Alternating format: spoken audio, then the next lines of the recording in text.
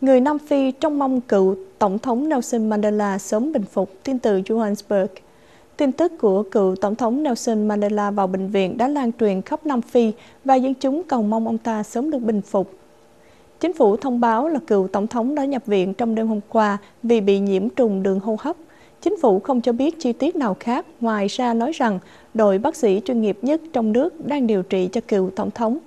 Ông Mandela là vị tổng thống da đen đầu tiên của Nam Phi và người Nam Phi coi ông ta là một vị anh hùng dân tộc, biểu tượng chống kỳ thị chủng tộc. Du khách Pháp Dominic Revo nói rằng Mandela là một nhân vật ngoại hạng, bà ta không muốn ông ta chết, hãy tiếp tục sống. Ông Theo Simons nói, cả nước muốn Tổng thống nhanh chóng bình phục, sức mạnh của Tổng thống sẽ tiếp tục dẫn dắt quốc gia, ai cũng mong muốn Tổng thống sớm hồi phục và rời bệnh viện. Ông Mandela đã suy yếu trong nhiều năm qua, nhưng ông ta đã được đưa tới bệnh viện trong đầu tháng này để khám. Trong tháng 12 năm ngoái, thì ông ta đã nằm bệnh viện 3 tuần với nhiễm trùng phổi sau khi giải phẫu sạn mật.